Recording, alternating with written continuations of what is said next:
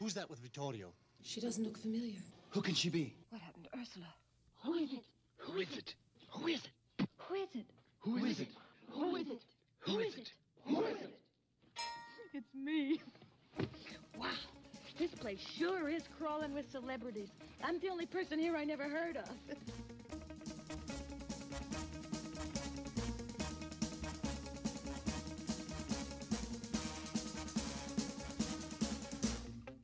Hello, everybody. Welcome to the Innovation Labcast. I'm Dave Goodrich. I'm one of your hosts.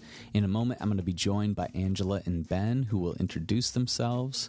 We're going to have a conversation about the Innovation Labs, which was a new installment at the OLC Innovate Conference in April down in New Orleans, and it was amazing. It was an experiment. We learned so much. We're going to iterate. That's what this conversation is all about. But this is one of many conversations we're going to be having. We've been trying this out on a weekly basis on Wednesday nights at 9 p.m. Eastern Standard, and we're going to try to do a live version of that. But please subscribe to us on iTunes or at innovationlabcast.com. If you're interested in things like design thinking, innovation, education, being change agents in your organization, user experience design, learning experience design, community involvement, or being generally a good and engaged human being. You're among friends. Angela, Ben, and I are going to have conversations around these things and many more, and around big challenges we face in our work that we love we have truly we've thrown our lives at education and for very good reasons and we'll talk more about that in the coming days. But i just i did want to mention before we get started that angela ben and myself we do not formally represent our institutions nor do we represent the online learning consortium in any way. We are literally just friends colleagues networked peers connecting over the interwebs to have a continued opportunity to carry out these conversations that have started at places like the OLC conferences and on social media. We just, uh, we really wanted to continue on these conversations in audible and conversational ways, and we want to invite you into these conversations. We're going to have conversations with people who are thought leaders in this field. It's going to be fun.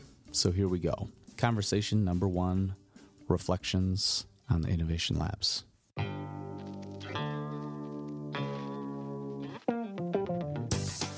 Angela Gunder, and I'm Senior Instructional Designer at the University of Arizona. I'm Ben Scragg, and I am the prod program manager for College Ready Ohio, a K 12 higher ed consortium grant at The Ohio State University. And I'm Dave Goodrich. I'm a learning experience designer at Michigan State University.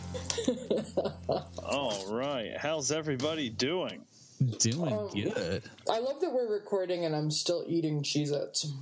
Hey, as soon as as soon as I get the say so, it's let's play ball. You're like, boom goes the dynamite. Correct. Although what is entirely fair to say uh, is that I have not yet joined any kind of Zoom recording. you know, I don't. me- I don't think we need to join Zoom. Like this is No. freaking awesome that we can hear each other right through Zencastr. Like I was just talking to Angela about how much I am loving Zencastr. This is blowing Yeah. my mind. This thing is pretty slick. Theoretically, all three of us could could create separate podcasts out of Yeah. this. Uh, I, of course, am going to so rearrange all of Angela's words into being horrific. Uh, Theoretically, you won't have to work too hard. That's, this is uh I mean, I know this is basically. I'm I'm going to repurpose all of this for for my very very staunchly uh, pro Trump podcast. That's probably the most nefarious pursuit you could engage in. which I, I know you all saw that coming just based on how you know me. Uh, I are am. you, you are a Trumpster. I'm an ardent supporter, is what you would call me. Uh, but As, but as a side note, as a side note, I should say that um, if this were a video podcast, you would see that I'm drinking a margarita out of Oh, my notorious Big pub glass. that's pretty great. just so you know how I live my life. Well, I I think I do, and I respect that. Uh, as a Birdman would want us to do. Um, if you were seeing me, you would you would see that I'm alternating between sips of iced coffee and bourbon, which are also Oh, nice. Me, I'm drinking uh, Founders Dirty Bastard. See, there's touche. touche. two two out of three rappers represented. That's right. Old Russell Jones, R.I.P.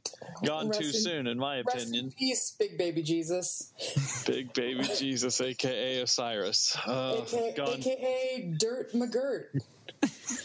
Old dirt dog, gone too soon. This is. This is probably the best thing that we'll do this evening. shimmy, shimmy, yeah, shimmy, yeah, shimmy, yay. yeah. Oh man. Oh man. My, I'll tell you, my, one of my favorite, one of my favorite uh, high school moments was uh, baseball season. Wu Tang Forever probably had just come out, and for whatever reason, I was I was really really hyped on the on the bus to a to a dirty verse and just let it go through my headphones to the point where the uh, the JV coach had to Tell you to simmer down. had to had to come back and tell me to lift the headphones and tell me to tell me to hold that down a little bit. So What I, I think love the- about that story is you were on a loud bus. yes, yeah. I just love that the, the coach was named as the JV coach. The attention to detail in this story is as if it happened yesterday. well, here's how I know that sort of thing. Uh, and I'm calling him the JV coach because I, his his actual real name is escaping right now. He was the nicest guy, and I want to say it was. Oh, maybe McCoy. He actually lived up the street from me, and I did a mentorship with him. He worked. this is the late '90s in in Appalachian, Ohio, and there was one place uh, in the town nearby that did wide open MRIs, so it was not a confined MRI machine, although it was still quite cramped and terrifying. And he he worked as kind of a rep for this wide open MRI, and so I went and drove around with him while he was. Uh, he was the baseball coach, and so he was very nice about telling me that I, I, you can't say those words that loud uh, while the softball team's also on the bus. Uh, that was my, that was my dude. So Just my keep dude it whose name real. I don't remember. He'll always be your dude. The dude abides. He'll always be the guy of the street who had the cool Mitsubishi. So So why have you called us here today? yeah, what are we even doing? This is, I wanna hear- Dave- I want hear Dave's doing- Dave's Dave's podcast voice first and oh foremost. no no no no! That's my favorite. No, it's my favorite thing in the universe. Is is podcasty Dave mode. Podcast Dave. PDD. Yeah, you know me. Uh, what I want to hear sometime is m- more history on both of your career trajectories because that just sounds like a fun time. Uh, open, MRI. I've never even heard of open MRIs. yeah yeah um it's it, it's really not that open i mean that's kind of the it's it's definitely a kind of a misnomer uh It's a joke. It- it's a it's joke still- in the medical community. still looked quite cramped um so an interesting thing happened last night uh that it, i still haven't even got back around to it and i'm i'm still a little bit angry but for whatever reason just this week at work has it, it turned into the maybe the busiest work week of my life Yes. and uh, which is funny because when I left for New Orleans last week, like everything was cool, like stuff was like really good. you thought and you were on top of your game. Well, right, well, yeah. So there's definitely there was the illusion of that. Uh, but the the funniest thing was like as we were in the innovation lab, I started. I, I was constantly kind of checking my emails. and I was like, oof, oof, ooh, I, these look like things I'm going to need to get back to. I And Body you- blow. Body do blow. recall some of those moments actually. Oh man! and then and it was like be here now. Oh, So so we did this very interesting to me anyway. Corporate training at Ohio State a couple years ago, and everyone got these these plastic kind of desk plaques that say "Be here now," right? And it was kind of like you know, and it was all about managing your your energy and giving your best to situations. So last week that was my mantra in the innovation lab. While while the the waves started to kind of build uh, from Columbus, and I was like, ah, it's all right. We're in the innovation lab. We're in New Orleans. Everything's great. And then I just yeah, I just went into the office this week. And it was uh, it's been crazy, but this thing happened last night, which is. Um, Wednesday nights in the state of Ohio are typically uh, OH Ed Chat nights on Twitter, and Oh, mostly those are those are K twelve chats um, or K twelve focus chats. A couple of guys in, in Central Ohio typically take the lead on those, and I love them. And last week they combined it with DT K twelve chat, which is design thinking in K twelve chat. And so the whole Oh. the whole Twitter chat was on design thinking, and It got real Uh, meta. It got real, real well, meta. it's crazy because I, I saw it yesterday in the day and I was like, oh, this I'm going to kill this chat tonight. I'm going to be so involved. And then a, a buddy, a very good buddy of mine, was like, hey, let's let's go grab a drink. And he and I do. Uh, the I Believe Foundation stuff with our kind of nonprofit with the kids, and so we went to talk about that because I hadn't seen him, and it just so happened that one of the principals that were were trying to to get some of their kids to get involved was on that chat. And so patrick was like oh look at this kind of cool chat i'm on. And i was like no i was supposed to be dominating that chat. And so when we finally jumped in i was like scrambling furiously. But but normally right i have my TweetDeck up. I'm like i'm dominating uh at life. And last night i had to try to do it off of my phone while uh, Bob Dylan covers were, were playing loudly in a in a bar, so it didn't go well. Oh, I had So I- I've had such a similar week, and last night was the Mished chat, also Wednesday nights. Yep, Uh, yep. And and I was like in a the same kind of situation. It was about computational thinking, and I was like, oh my word, I got to jump on that. And then I had a phone call with somebody at work, like at eight thirty, right in the middle of uh, the chat, which totally disrupted that flow that was going on, you know. And man, so It's hard guys, in these streets. do you guys feel like you're going to have a moment where you are going to organically come back to that lightning in a bottle? Because both of you left on this adrenaline high and you went back to the real world. Um, sort of like if we're going to talk about the hero's journey, you went off Yeah. to the innovation lab, you found your solution, you have that magic elixir that you're going to take back to your um, fellow institutions. You're going to cure all the people of all that ails them. But then you get there, and some donkus is already there, and they're rocking it with an elixir that they found somewhere else. So when is when is your moment going to come? I just got back from summer camp, basically, is what happened. And day one, I have like 50 chores to do around the house. That's kind of how I'm feeling. Mm-hmm. Mm-hmm. Well, so my thing, I th- and it's been interesting, right? I- And I have this very. It's a lot like that, Dave. I think it's it's funny. I came back from the week feeling so good about uh, two things. One about the relationship, just the relationships with you all, and just you know, it's kind of like when we're in that zone.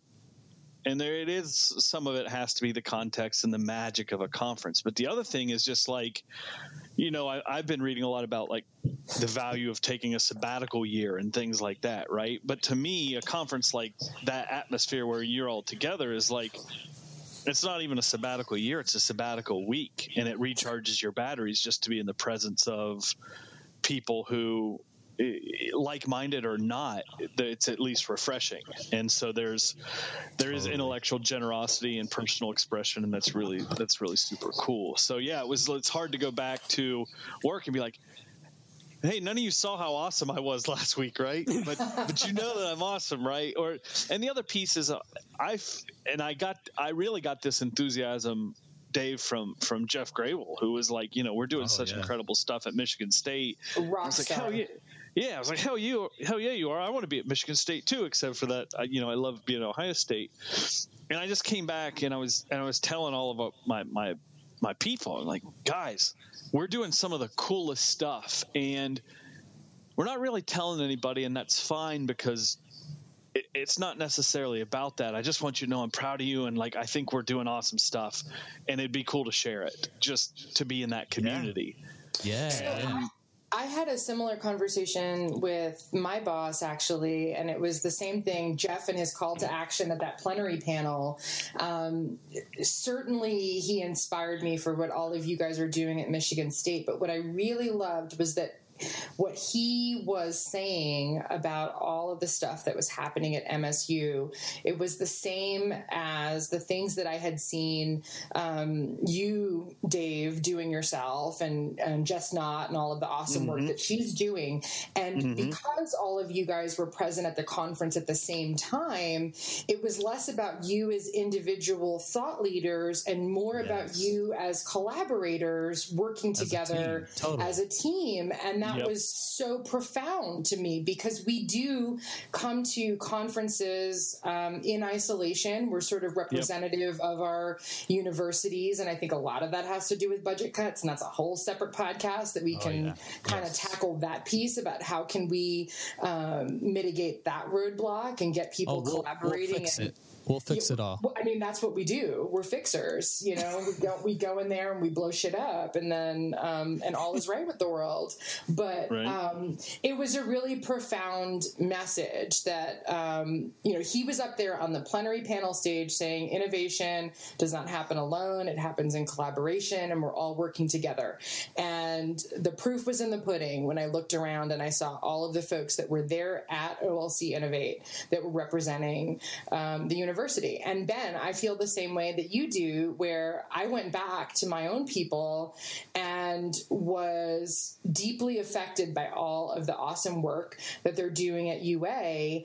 And I said, you know, we really need to do something similar where we're talking about our collaborative work rather than just sending an individual off to relay um, the, you know, the message from one voice of of all of the awesome things. It, it needs to be a cacophony of voices because that's that's how we work. That's how we do all of the all of the magic things. Well, and and I think this is, I, I really wrestled I wrestled with this a lot while we were there, which is, um, and I, and I had this conversation this week with some of our people, which is, you know, our institution, Ohio State, and I think this is fair to say for Michigan State and Arizona too. It's like these are big public state schools that are you know research institutions that are massive, have lots of moving parts, and in some ways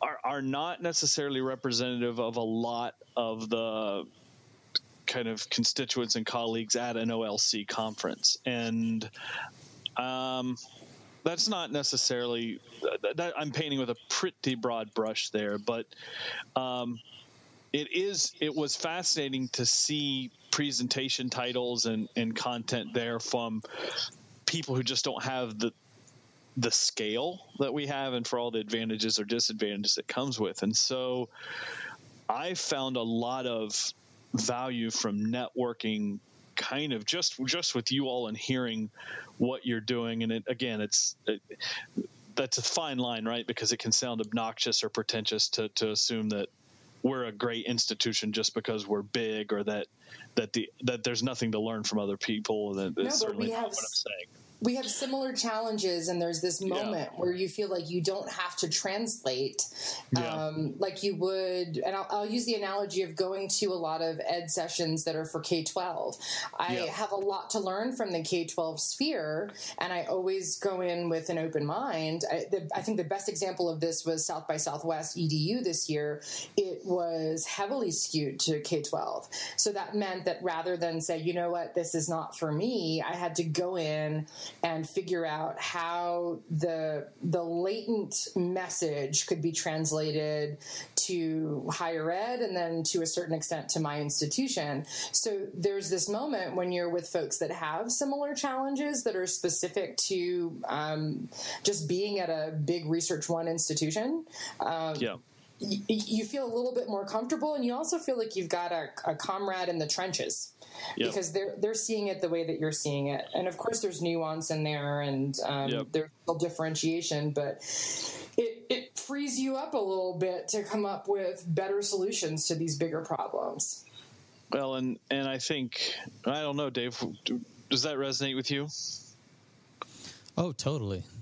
Totally. Yeah, absolutely. And I was just thinking about um, the lab itself, the innovation lab. And I was telling our team as we were kind of reflecting uh, on Tuesday at a, a staff meeting about how exhausted I was at the end of each day. Um, Mainly because I think uh, the the things that are most valuable to me about a conference, those grassroots, just kind of natural connections that are made between sessions with people and hearing people reflect about what they're learning about what's most valuable to them that was happening um, like the entire time during the innovation Without a lab. break, there was Yeah, no we never really in that. we never really turned that off, did we? no, No.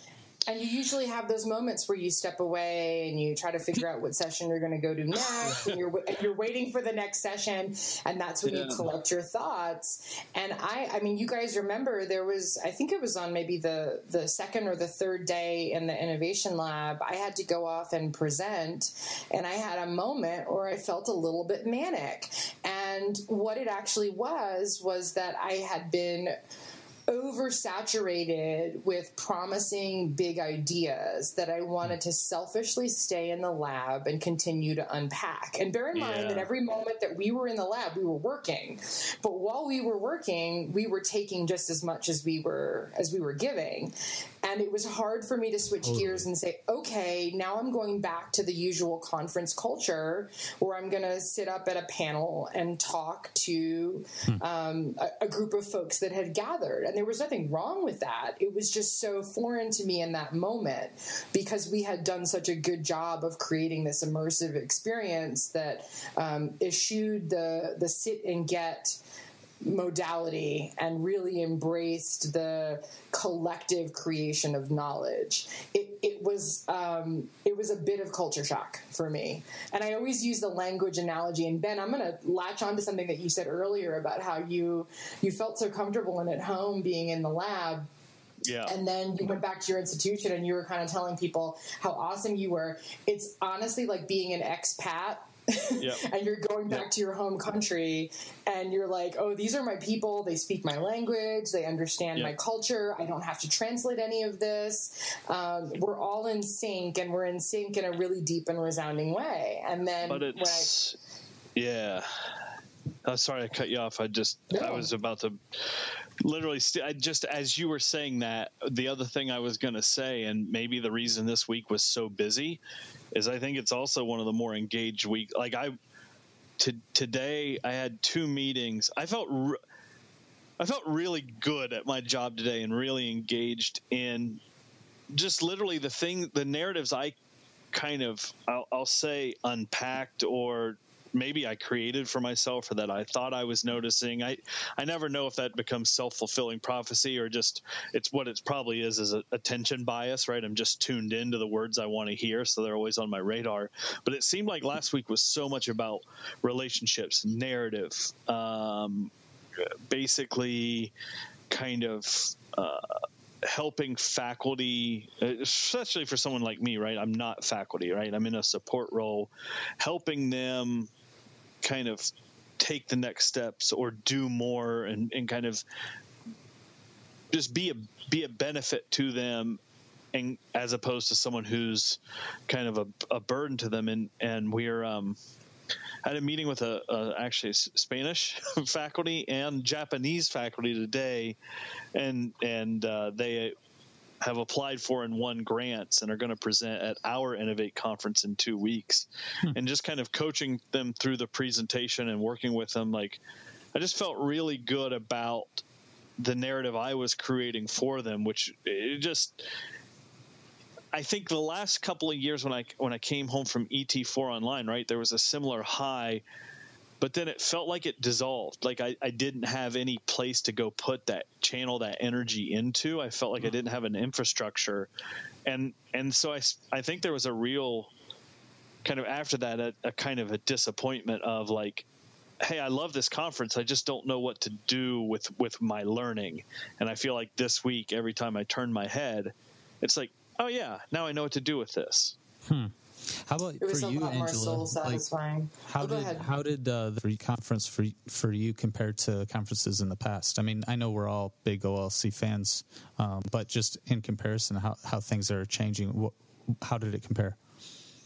Well, I, I will I will tackle that question from sort of the preparation for the conference itself, particularly the innovation lab, and then the after, sort of like that thirty thousand foot look at it um, after having gone through it beforehand. And I said, I think I said this to both of you guys. There are not too many instances where I am creating something that is wholly new, uh, where I feel like I'm unsure as to how it's going to hit the mark. I usually um, with a lot of preparation and um, research, feel like I, I can anticipate what the end result will be, and I can plan for any sort of result that could come my way. With this, I was not sure how it was all going to come together. And the first moment that I stepped into the, the lab, before it was even open to folks, I saw something that had taken shape in a really exciting and energizing way. And not necessarily because of all the work that the three of us did um, and all of the work that the many other people did that helped us put it together. Um, but really, it was all of the work that folks had done before. Um, Yeah. Like Dave, you always say, standing on the shoulders of giants. And this was the perfect articulation of that walking into that space. And over the course of the the conference i saw that more and more and more to include the people that had really inspired the whole idea for the innovation lab being in that space and interacting with it just furthered um, furthered my my sense of pride in all of the the collective work that had been done with all of this. Uh, now reflecting looking back and reflecting on what happened th- there was one interesting snapshot. And when we were in the lab and you can all see a lot of the the podcasts and the the video that we collected when we were in the lab it, it was it, it was very focused on the the design thinking process. And we were in the trenches with people really doing a, a whole lot of information transfer. I think that there were a lot of people that had not they'd heard of design thinking but maybe had not experienced it in the way that we had set it up with lab stations where they had to interact with each of those pieces. So that was new to them. But what i thought was so fascinating was that you take this conference and it is born from uh, blended and from E et4ol put together high high tech conference and I think that this was the first time that I had been in a space, and I'll use a term that Felice Banner always uses. She calls them exploratory installations. It was the first time that I had been in a space like this where it was the perfect marriage of the technology. You had the digital going strong for sure, but the Yeah. analog was there and present and so very active, and people were engaged with it. And I found that to be incredibly refreshing. It was as if nobody was hindered or limited in their ideation. They had whatever tools they needed in front of them, and folks were using, you know, the digital and the analog tools seamlessly. They were effortlessly shifting between the two. And that was that was really inspiring to me because a lot of times we spend oh my gosh, you know, days, weeks, months, years trying to make that happen in a meaningful and profound way. And it and it was just there. It was present. We, did, we didn't say okay and now is the time that you have to you know use this particular tech tool we just had people that were free thinkers that were open to the experience uh, collaborating and working with other folks so I feel like it was resoundingly successful what we did, but I'm already looking to what it'll be in the future. I mean, what what are people going to leave with? What are what is going to be the the product or the deliverable that is born from this space that um, Yeah. that we've helped to put together?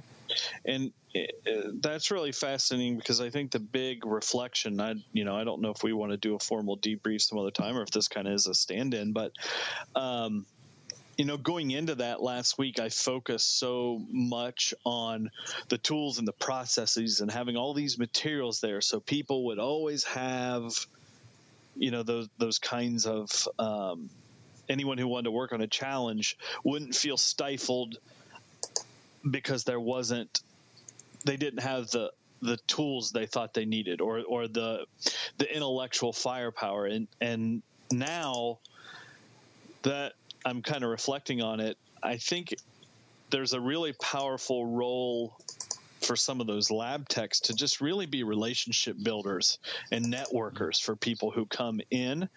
Um, and I know there was a moment and it must have been Thursday where, and I don't even remember who said it, but we were kind of having this conversation. I feel like one of us said to another, like, hey, you know, don't feel like you need to be the coach, that you need to put this all on yourself and kind of walk people through the process.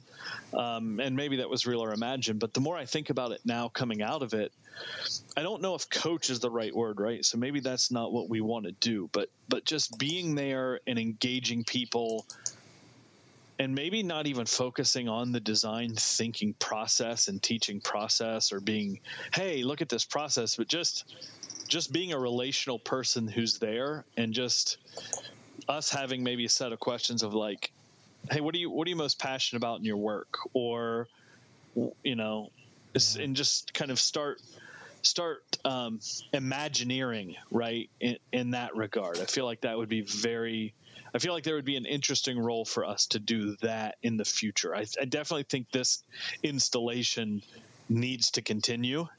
Yeah. Um, I think it was so much more social and so much better uh, than the technology test kitchen, and, and no knock on that. It's just, you know, It's just an evolution of an idea. yeah, yeah, and it is. It's a it is inherently a social process and so so meaningful when you connect people to empathy. So, um, Well, no, I'm gonna, great. I'm gonna um, drop a little more of um, Joseph Campbell's hero's journey or the monomyth on you, and say if the uh, folks that enter the space are the epic heroes, that they're going to take part in a journey to find new knowledge or create knowledge. That the role of the lab tech is actually the wise elder um, within the monomyth, the person that sends the hero off on their journey with the tools that they need or the knowledge that they need in order to succeed. So that that person doesn't have the answer um, themselves, but they have the keys that will help to to um, solve that puzzle. And I think that that's really the role that we played. We were just there to help contextualize. We were there to help reframe ideas. We were there to just encourage. Sometimes we were there just to listen, to literally stand there and um, you know be supportive as people worked out really complex challenges that were um, on their radar at that moment like they, they left their universities or they left their institutions with those challenges right in front of them and were able to come up with some of those answers in that space and all it meant was us just being physically present to to be supportive and help out i think that that's that that's huge um, Say it well, you did. Say it well.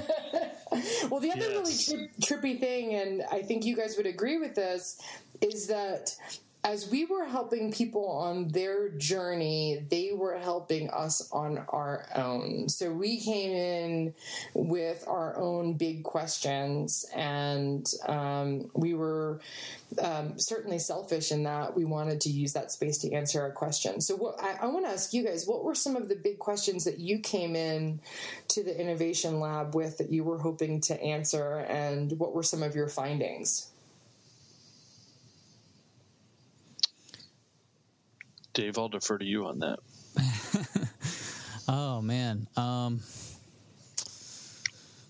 I think for me, um, I was really curious to see how kind of the volunteer um, model was going to work out, and I was completely refreshed and excited the whole time by even people like Ryan, uh, who I had never met before, and he came and just like you, you just saw him like.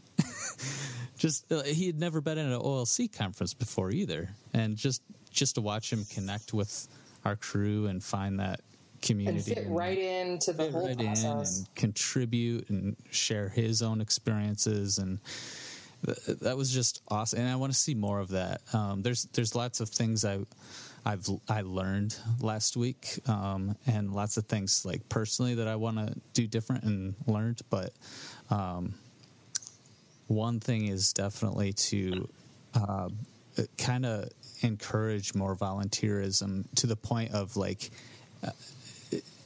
even even volunteers just giving a little bit of their time versus feeling like they have to be there the whole time so that even more volunteers can participate um, Yeah. because I just think that was I don't know I want I want to talk with Ryan I want to talk with um, the others who participated too and get their feedback yeah Steve Yeah. Yeah. Yeah. That's that's that's one thing that I I think I would see for the future is leveraging leveraging the digital space as much or sorry more um, maybe beforehand and part of this right was i and and i i will confess like this is i I see it so much more clearly now, right? Once you've experienced it. And I think even going in, you know, as of two weeks ago, it was like, hey, start sending some tweets under this hashtag. And it's just kind of like, that's cool. I just don't know what it's, I, you know, you never know until, I don't know if you never know, but I didn't know until I was in there. Amen.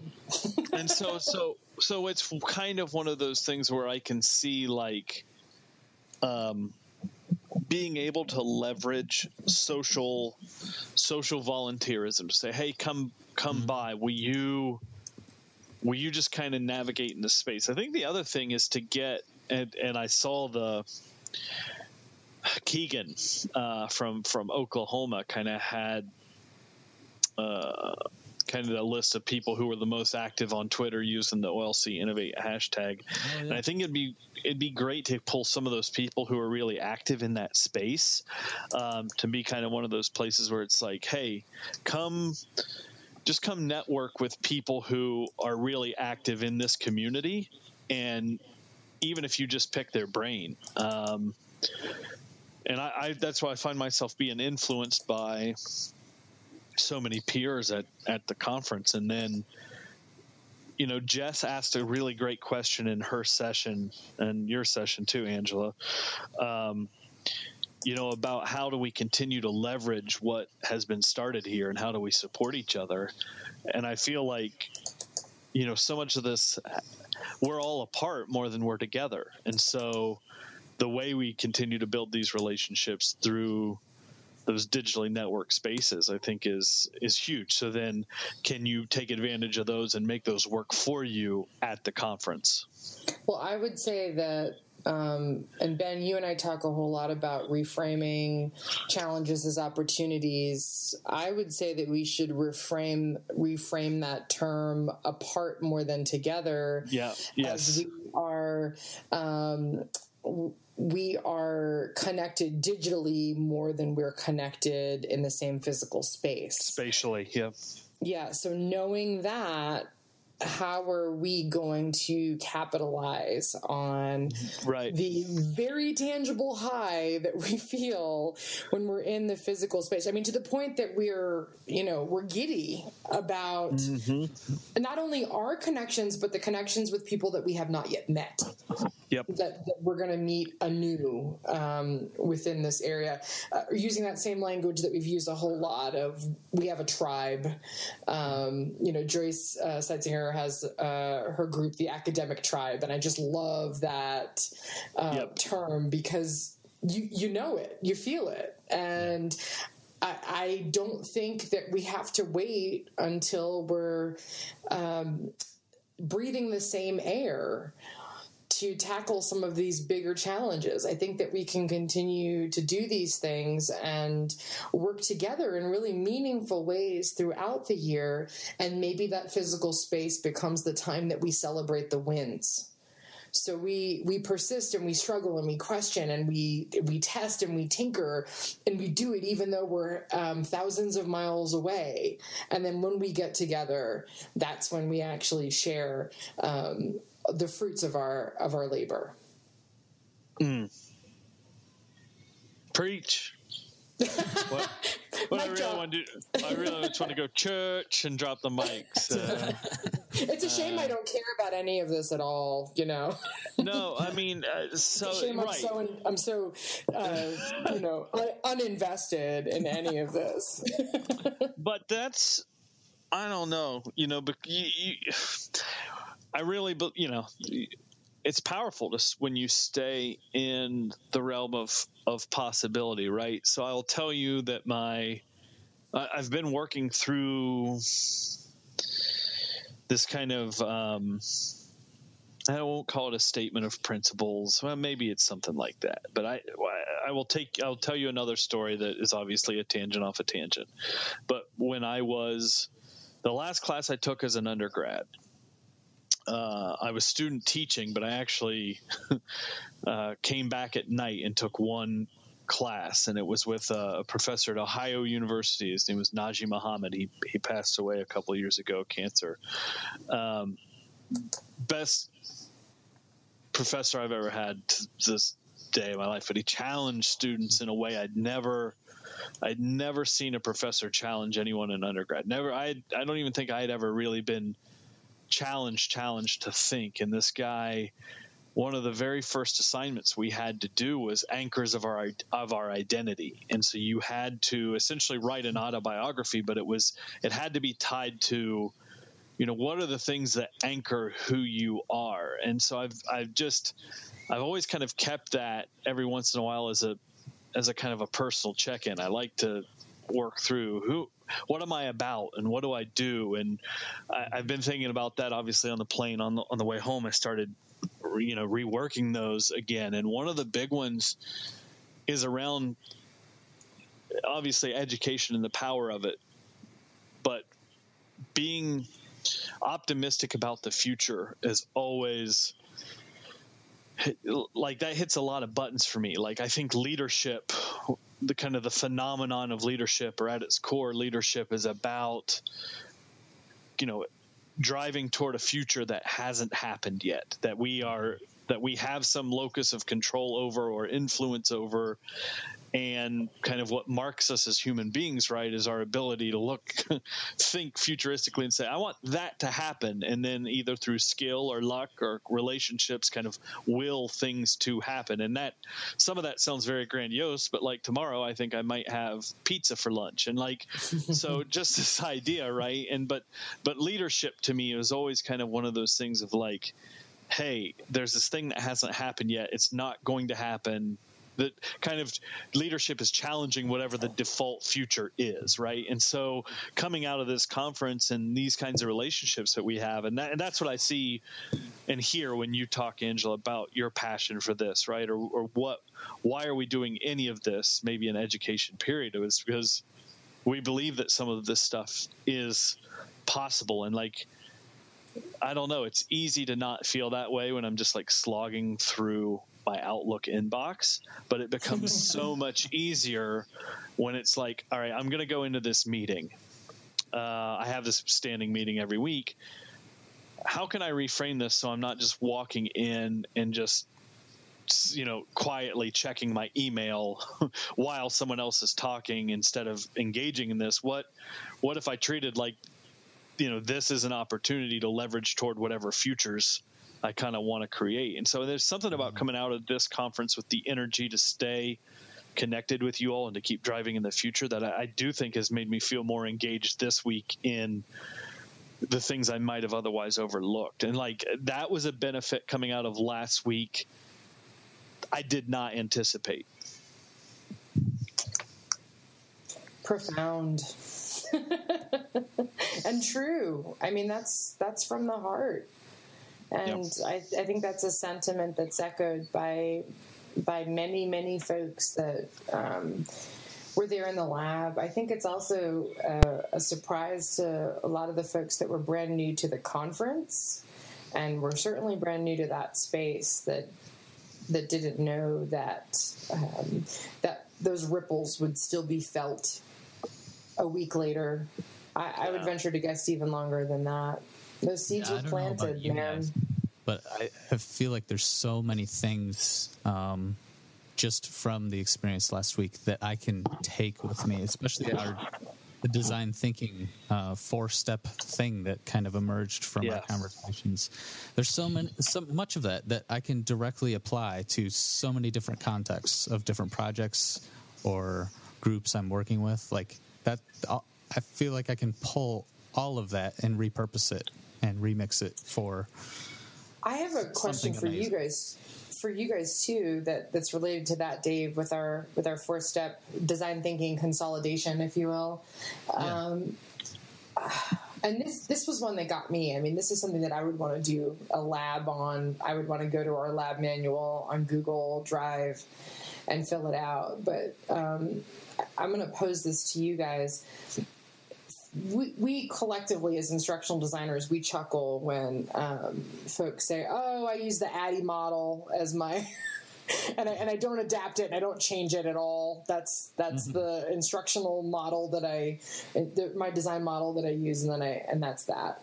How could we take that distillation of the design thinking process and use that as our instructional design methodology. And do it in a me- it's, I mean it, it- because that's what we're doing every day correct? We're um, we're we're doing all we're following all of those different steps and I think that we do it um, Yeah. We do it subconsciously but how can we be intentional about it? Because that was that was you know ben you were listing all the words that came up. Um, and narratives for sure was was one of them. But i think intentionality was another one. Saying that that in this moment we're we're actively trying to do this. And and also in this moment we're trying to give our students autonomy and agency to make them feel that they can express that same intentionality in their own Yeah. work. That's what that's the lighting in the bottle that we're trying Well- to get. So how do we be intentional about our design process using the same principles that we're espousing? Hmm. So I will just share that it's been a slow building hunch, and I'm slowly building more and more connections every day. Um, I feel like sometimes I'm I. It's easy for me to talk lots of game um, because ideas fasc- fascinate me. Um, and this is one of those times where here's what I'll say: I'm a little, I'm a little nervous about letting the cat out of the bag about some big plan I have because, again, at a big institution where it's hard to just will things to happen. All for all the talk about leadership, it is possible. It's just very hard to do it by yourself, and in fact, that's not the mm-hmm. point at a place like Ohio State. But I will tell you that within instructional design or the work we do with students and faculty, I'm I am so fascinated by the idea of design thinking because it just gives it gives a name and a methodology to a lot of what I again when I'm thinking through those anchors a lot of what was so revelatory is like this design thinking stuff is just you can call it the scientific method you can call it heuristic you can call it the best we're capable of. It's just it's how do we go actually will something to be in an empathetic creative way using those around us and the and and just you know a link in a chain a step at a time to make something better and so i i've become like this huge huge believer in design thinking without having produced much through it if that sounds strange maybe but so i i think not at all. So so it, it's kind of become in some ways my the compass for for how I want to pour myself into my work, no matter what it is. So I guess what I'd say is, and and so people around me are definitely catching wind that this gospel is kind of brewing and within me. But I, I guess to answer the question, I kind of want to wait and and produce some stuff with it uh, before I start talking about some big design thinking plan to take the, the world over at Ohio State. But it's I, I How feel about you, Dave? very similar. Like it's, uh, I, I like how you described it as uh, a new articulation, uh, a reframing of what it is we already do, and truly, I mean, you can you could make connections also to ADDIE through design thinking, but For sure. there's something about design th- thinking and the the the concepts that are coming from it that the, the big ones that really stand out are the embracing of failure um, Yeah. iteration and um, really Starting from a point of empathy. empathy and and dreaming really big like moonshot dreams because i mean you you can go through the, the ADDIE process and come out with some pretty crappy stuff but What are you talking about? well, and and I mean, I uh, sorry, Dave. I, I Oh, it's okay. maybe it's. I guess here's the question: Is what you're saying with that is, I I think the problem. Well, a, a thing I've heard people say, and so I'll just piggyback on it, but I also kind of I believe it too, which is the a problem with a process like ADDIE, right, is a lot of people tend to put that process in in front of the idea that they're actually humans working the process, right? So it Yes. it takes this very mechanical or rote picture of something that's incredibly complex and, and difficult and and I will argue shortly um, tragic like education um, in in like the dramatic tragic sense of you know you you actually don't know if what you're doing is the right thing because the ends sometimes don't reveal themselves for a student until years later right? So you you, you it's tragic in that you think you're doing what's best but you might not know. And and Bonnie Stewart says you know I hate the term best practices because when you're talking about complex cognitive work how how can you possibly presume to know what the best practices are. So I I think there's something fascinating about that idea, right? That that a process is fine, but when you put it in front of when it precedes humanity, right? Um, Well now Well you're in an existential problem. another drop the mic moment So we've been we've been at it for a little while talking about all of the positives and the um, the epic wins and the um, moonshot vision for the future. What would you say some of the lessons learned and um, I purposefully say opportunities for change um, that, that you think are in front of us based on the way that the innovation lab was designed and how it went? Well, I think you and I uh, connected. We we got the sense um, that, and I think this is such a common. One of my favorite uh, quotes about design is, um, "Design isn't about all the things you put into something. It's it's about knowing what to take away."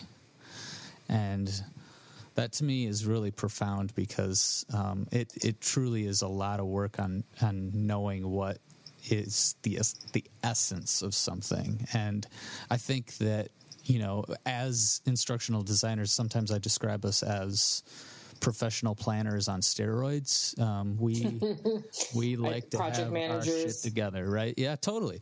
And um, I think uh, we needed a little more space, actually, um, between our actual sessions for reflection and such. I think, I think, um, just the fact of our fatigue at the end of the day, I think that um, there there needed to be more space for just reflection and connection.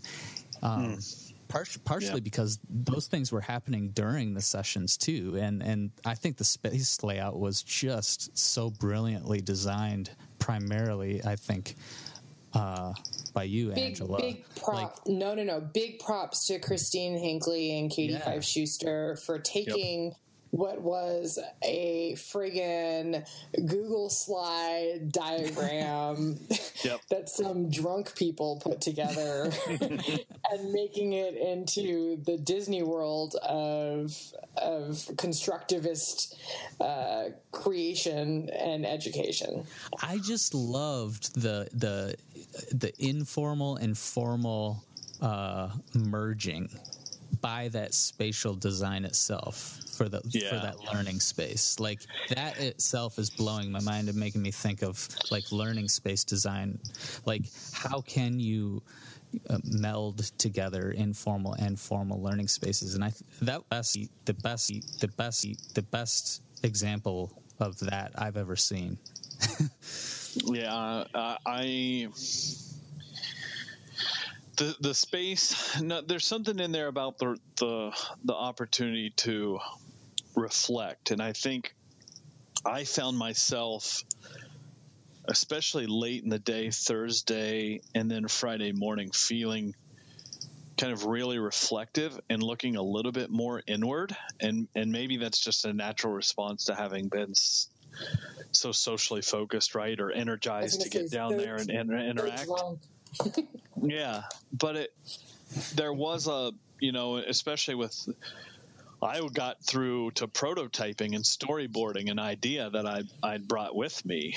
And then it was felice gave me some really good insight. Um, had a really interesting talk with Stephen and, and Frank, and then uh, some of the folks from Alaska Fairbanks, uh, just thinking about their session and the implications of it, especially the, the site fellows. Do you all remember their session? It was incredible. Yeah, yeah. and and faculty development and it, it just kind of got me thinking how do how can I take a message back that is pushing people to be the, their, their, their best their best selves and maybe that sounds flowery or like Tony Robbins ish but like how do you go leverage like we have incredible brilliant smart people and, and lots of universities do right? But you feel at home in your university right? So you you love those brilliant smart people because they're your people and it's like how i think a lot of times at least at ohio state that the message was it's been sometimes these people we, we can look at them like they're the hard ones to work with or they're in control and so if they just listen to what we wanted to do and it was just this really interesting opportunity to say no maybe we can reframe that. Maybe i can do some reflection.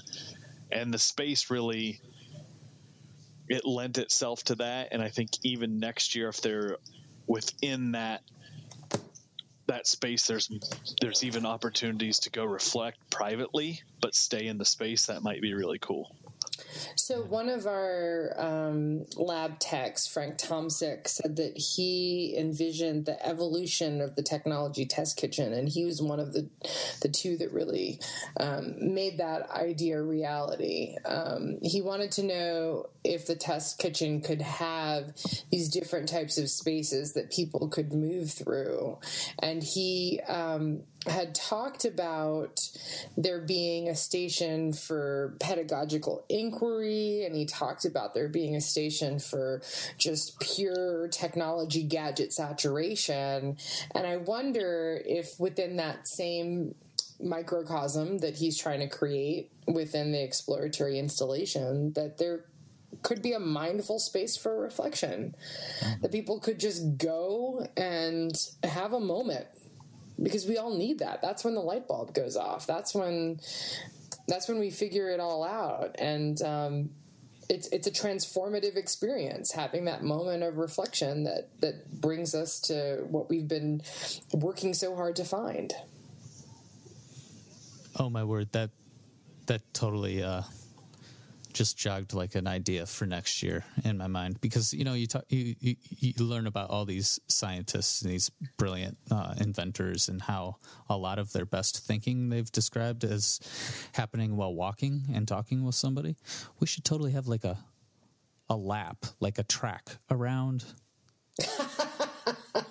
just like I love this idea so much. Take a walk. Yeah. Walk and talk. Well, even you know how they had the so next to the innovation lab was the innovation installation, and they had scheduled museum guide times. What if there was a scheduled walkabout time? Yes. And people could even be paired up based on common interests and um, and things that they're jazzed by. I mean, it could even be um, a, a lap based on a one of the the conference tracks or themes that you go and you do an informal chat with some people that are really really energized by that same theme and maybe one person um, designates themselves and maybe they don't even reveal themselves that, that they're the that they're the the informal guide but they come with a big question and you take that lap and you take that walk trying to figure out how to unpack it That's good. Well, yeah. And we got the river walk there we go. we Just do right. just right there. Now that's we have we have the trip awesome. the trip down bourbon street I don't know. I'm I'm just I'm really proud of you guys and just proud to be a part of this whole thing because I don't know about you, but I've been at a lot of conferences where I hear a lot of complaining about, oh, here we are, just sit and get again, and I'm hearing someone talking about active learning to me, lecturing about it, and. I'm so excited that we were part of something that was just like, okay, well, let's just let's do it. Let's do active learning. Let's do some of a it. space for it. And I was so surprised. Well, so so excited about the the people who signed up to run these sessions and how well they did at actually it was like they were just they've just been waiting for the space and the permission to do it you know almost like they were waiting for their tribe to appear yeah yeah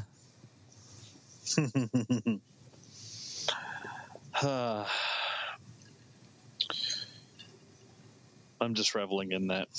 Um, well, I, I so I think someone's going to have fun editing this uh, and and formatting it, Dave. But I, I, I someone might, someone the only one uh, but I but I would be curious, and I think maybe.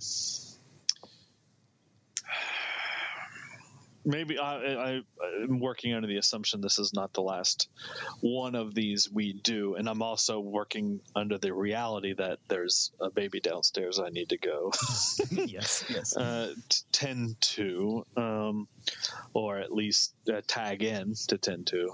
Um, but I'm think- interested in. I, I'm interested in. So sorry, just the last thing I'll say is I'm interested in.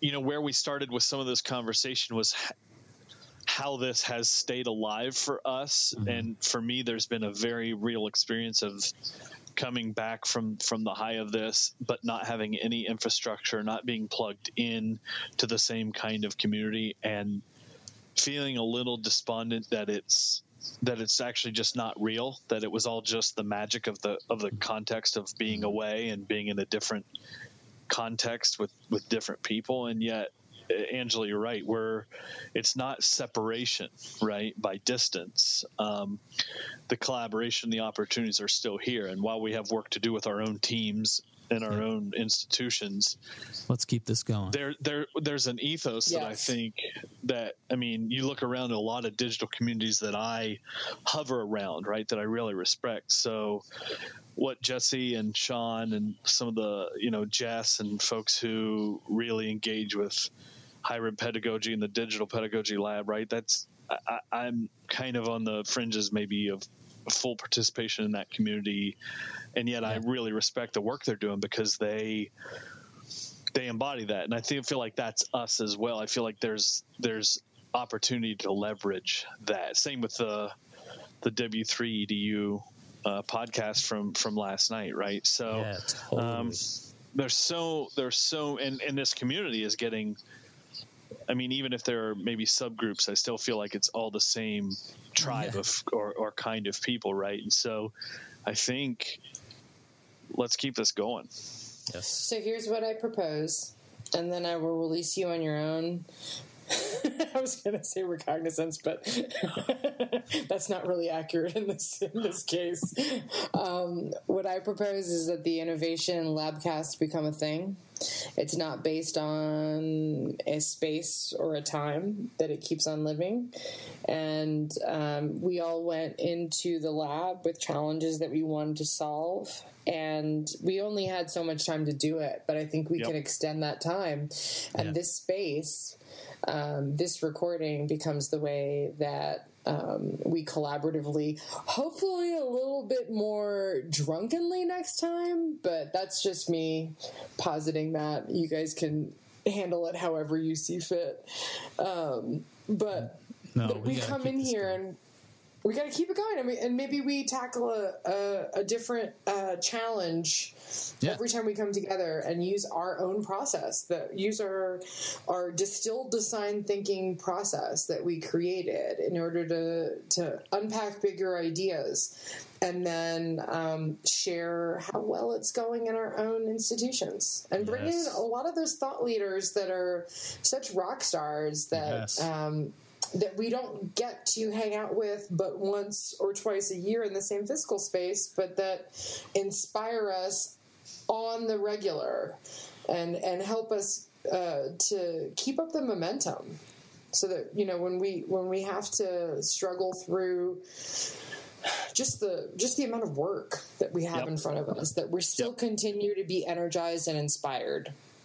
And that's, I think that's the reality, right? Is so, uh, you know, we have our home, we have our institutions, and that's where, you know, that's where we're doing our good work. But, but there was kind of a, a paradigm shift that, you know what, maybe, maybe it's that there is full time inclusion in this other community, even if it's the, you know, the physical presence doesn't exist. That maybe this is not, oh, these are my conference friends, I'll put them in this box and I won't see them. That maybe there are real opportunities to go do good stuff together, even even in separate missions. So I'm I'm I'm excited by that, and that that makes all of this talk right of what the what the technology and what the digital kind of network space makes possible. It just makes it feel that much more real to live through that. So it's cool. It's something concrete. Yeah. Guys, you are the best. We got to do this again. I um, concur, and I will So be sharing written- this. Yes. So it shall be Amen. done. Church. Let the congregation say amen. So shall All it be. All All right. right, kids. Thanks, guys. Have a good night. Talk to y'all soon. Bye bye. Bye.